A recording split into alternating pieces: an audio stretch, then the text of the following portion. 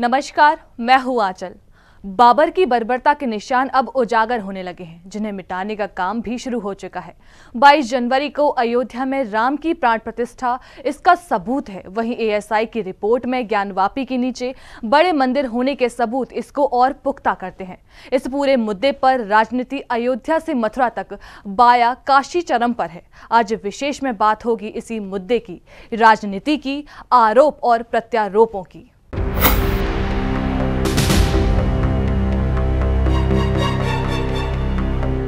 राम मंदिर प्राण प्रतिष्ठा समारोह के बाद रामलला के मूर्तिकार अरुण योगीराज वापस लौट गए हैं। उन्होंने प्राण प्रतिष्ठा के बाद मूर्ति में फ़र्क साझा किया।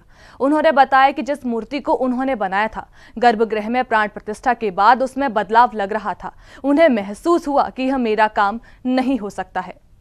अयोध्या में राम मंदिर प्राण प्रतिष्ठा समारोह के बाद मूर्तिकार अरुण योगीराज बेंगलुरु लौट चुके हैं। उन्होंने एक इंटरव्यू में रामलला की मूर्ति को लेकर अपने अनुभव साझा किए हैं। उन्होंने बताया कि जिस मूर्ति को उन्होंने महीनों में तैयार किया अयोध्या में रहकर पूरी व्यवस्था देखी उसी को जब उन्होंने गर्भगृह में प्राण प्रतिष्ठा के बाद देखा तो उनको महसूस हुआ कि अंदर जाते ही भगवान चेंज हो गए हैं।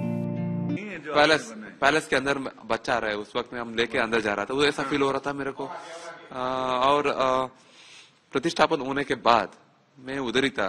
दस दिन almost I spend time with in the garbhagriha installation का दे रहा था, कुछ मार्किंग देना था। अलंकार होने के बाद मैं उसके सामने बैठा था, ऐसा ही मेरे को लगा ये मेरा काम नहीं है। अरुण योगी राज ने कहा कि मैं दस दिन से वही था। प्राण प्रतिष्ठा होने के बाद किनारे बैठा था। मैंने देखा तो लगा ये मेरा काम नहीं है। अंदर जाते ही भगवान बहुत चेंज हो गए हैं। मेरे साथ दो तीन लोग बैठे। मैंने उनको बताया कि ये बहुत अलग दिख रहे हैं। पता नहीं, ये मेरा काम नहीं हो सकता है। नहीं नहीं, वो बहुत चेंज हो गया, वो अंदर जाते ही भगवान बहुत चेंज हो गया। मैं, मेरे साथ कोई दो तीन लोग बैठे थे, उनके साथ मैं एक्सचेंज किया है बाद में। नहीं, बहुत अलग दिख रहा है, पता नहीं, ये मेरा काम नहीं है। और उन्होंने अलग रूप ले लिया अंदर जाके। ऐसा मैं तो सभी फील कर रहा हूँ, मेरा काम नहीं जैसे, मेरा काम जैसा नहीं दिख रहा है and I am sure I can't repeat it again बता दें कि अरुण का स्वागत करने के लिए बेंगलुरु एयरपोर्ट पर प्रशंसकों की इतनी भीड़ इकट्ठी हो गई कि पुलिस को काफ़ी मशक्कत करनी पड़ गई। एयरपोर्ट टर्मिनल के बाद योगी राज का स्वागत उनकी पत्नी, बच्चे और परिवार ने किया। इसके फ़ौरन बाद पुलिस टीम उन्हें सुरक्षित वहाँ से निकाल ले गई। बता दें कि रामलला से पहले भी अरुण योगीराज अपने हुनर से कई मशहूर मूर्तियाँ बना चुके हैं और तारीफ़ बटोर चुके हैं। सी न्यूज़ के लिए आंचल परमार की रिपोर्ट।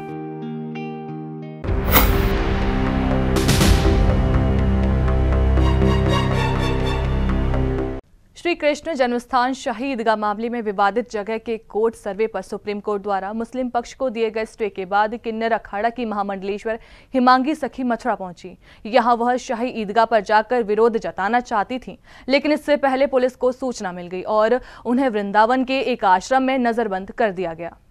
किन्नर अखाड़ा की महामंडलेश्वर हिमांगी सखी शनिवार को मुंबई से वृंदावन पहुँची। यहाँ पर वह परिक्रमा मार्ग स्थित चामुंडा देवी मंदिर के पास एक आश्रम में रुकी। यहाँ से वह शाही ईदगाह पर जाकर विरोध जताना और श्री कृष्ण जन्मभूमि के दर्शन करना चाहती थी।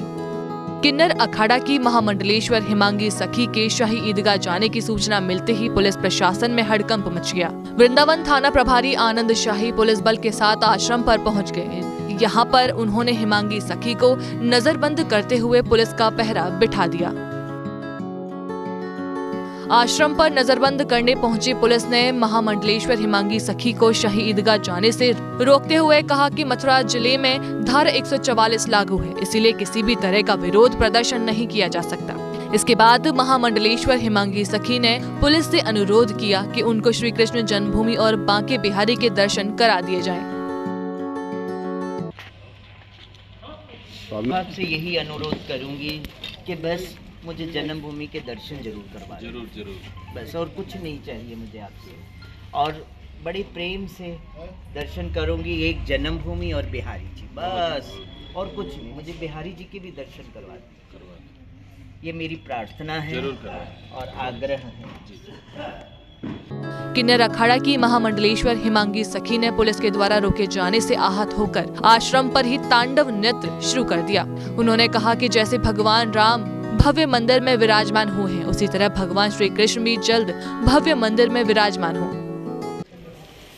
मेरे कान्हा को जन्मभूमि, मुक्त हो मुक्त हो, मारो कान्हा को जन्मभूमि, मुक्त हो। तो मैं आत्मदाह कर लूँगी। आत्मदाह कर लूँगी। आज आपने ऐलान किया था शहीद का पर जाने का। क्या कुछ रहा? बस आपके सामने है। शहीद का जाना चाहती थी। मेरी कृष्ण जन्मभूमि मेरे कान्हा को जन्मभूमि मूल जन्मभूमि की मांग करना चाहती थी। ऐसा इस सर्वे को जो रोका गया है क्यों रोका गया है उसकी बात करना चाहती थी। मगर आज मुझे यही रोक लिया गया कि भाई नहीं, आप नहीं जा सकती हैं। ए 144 की धारा लागू हो चुकी है। अब मेरे पहुँचने पर ही 144 की धारा लागू होनी थी। बताइए, मैं पूछती हूँ, क्या मेरे पहुँचने पर एक किन्नर क्या चाहती है? जिस तरह से भव्य राम जन्मभूमि का निर्माण हुआ राम भूमि जन्मभूमि सज गई, दज गई। चहु और राम राम हो गया। राम राज्य का स्थापित हो गया। क्या ये सखी नहीं चाहेगी? ये सखी यही चाहती है कि मेरो गिरधारी, मेरो बांके बिहारी को जन्म भूमि भी सजे। मेरो कान्हा को जन्म भूमि सजे। मेरो कान्हा को जन्म भूमि सजे। मेरो कान्हा को जन्म भूमि मुक्त हो। पूछता है सारा भारत कि कान्हा को जन्मभूमि कब मुक्त होएगो। अब प्रशासन ने आपको यहाँ नजरबंद कर दिया है इसके बाद क्या कदम होगा आपका? अब इसके बाद क्या कर सकती हूँ? प्रशासन के आगे तो कोई जा नहीं सकता ना। सही कह रही हूँ कि नहीं? प्रशासन के आगे कौन जा सकता है? अब उन्होंने कहा है आप यहीं रुकिए। आप यहाँ से बाहर नहीं जा सकती हैं। तो ठीक है। तो अब मैं यहीं बैठी हूँ। जन्मभूमि के दर्शन प्रशासन ही लेके जाके करवाए मुझे। अपनी गाड़ी में ले जाए और जन्मभूमि के मुझे दर्शन कराए, मेरे कान्हा के दर्शन करा दे। महामंडलेश्वर हिमांगी शखी ने बताया कि शाही ईदगाह का सर्वे होने से सही तथ्य सामने आएँगे। उन्होंने मुस्लिम समाज से अपील करते हुए कहा कि जब उनको लगता है वहाँ मंदिर जैसा कुछ नहीं है तो फिर वह सर्वे रोकने के लिए कोर्ट में प्रार्थना पत्र क्यों लगाते हैं? उन्होंने कहा कि वह तो केवल अपने आराध्य कृष्ण की आराधना करना चाहती है। सी न्यूज़ के लिए अंकुर कुमारिया की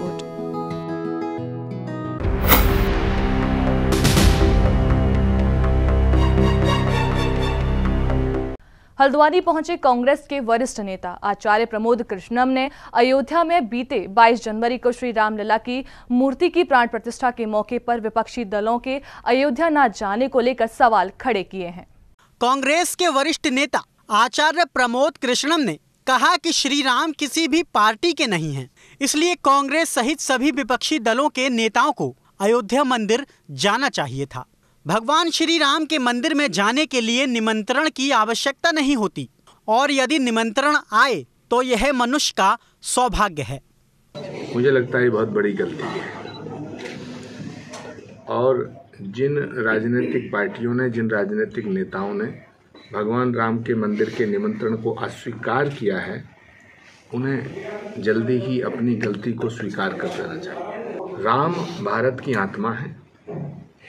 राम के बिना न भारत की कल्पना की जा सकती है, न भारत के लोकतंत्र की। अयोध्या में उनकी जो जन्मभूमि का मंदिर है, इसको किसी एक पार्टी का समझ लेना, ये ठीक नहीं है। और राम के मंदिर के निमंत्रण को अस्वीकार करना, मैं समझता हूँ कि बिल्कुल उचित नहीं था। और ये एक गलती हुई है विपक्ष से, विपक्ष को इस गलती को सुधारने की, अपनी गलती को स्वीकार करने की, जो मैं समझता हूँ कि सद्बुद्धि भगवान दे तो ज़्यादा अच्छा होगा। अयोध्या में राम के नाम की गंगा बह रही थी। डुबकी भी लगानी चाहिए थी। जो नहीं गए, उन्हें अयोध्या जाना चाहिए और अपनी गलती को सुधारना चाहिए। वहीं आचार्य प्रमोद कृष्णम ने यह भी कहा कि कांग्रेस पार्टी राम विरोधी हो ही नहीं सकती, क्योंकि कांग्रेस महात्मा गांधी की पार्टी है।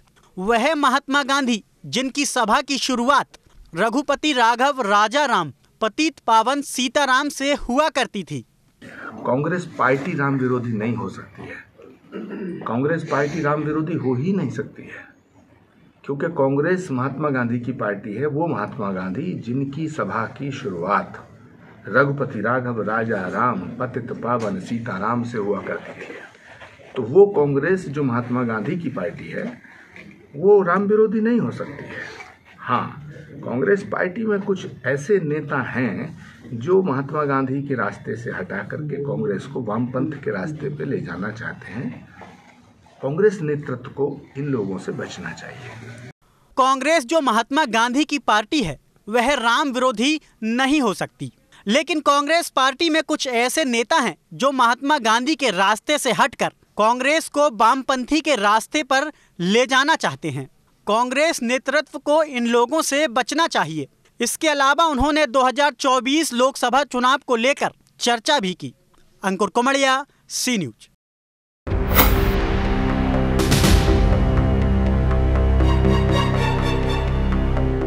जहाँ एक और दोनों समुदाय के लोगों में बैर है वहीं अमेठी सनातन धर्म व भगवान राम के प्रति आस्था रखने वाली राम भक्त शबनम शेख रामलला के दर्शन के लिए मुंबई से पैदल चलकर पहुँची, जहाँ उनका भव्य स्वागत किया गया शबनम शेख मुंबई से अयोध्या के लिए पैदल चल रही हैं। शबनम शेख यह यात्रा 38 दिनों से लगातार कर रही हैं। शबनम शेख पैदल यात्रा करती हुई अमेठी पहुँची, जहाँ उनका स्वागत किया गया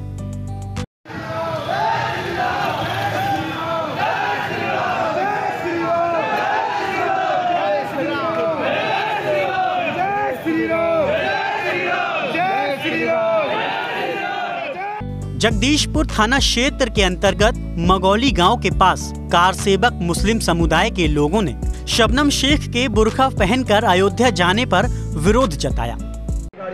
क्या नंबर है? क्या नंबर है? दोबारा से बताएँ।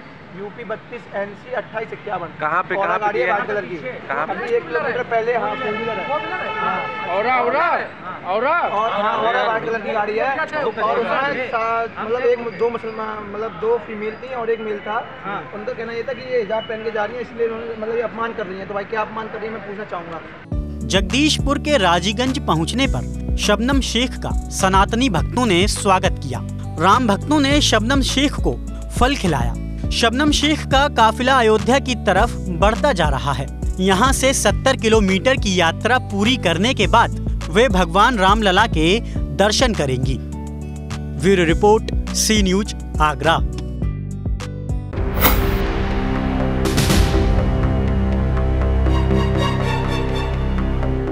आज विशेष में बस इतना ही। कल होगी फिर से मुलाकात नए विषय के साथ। तब तक के लिए नमस्कार।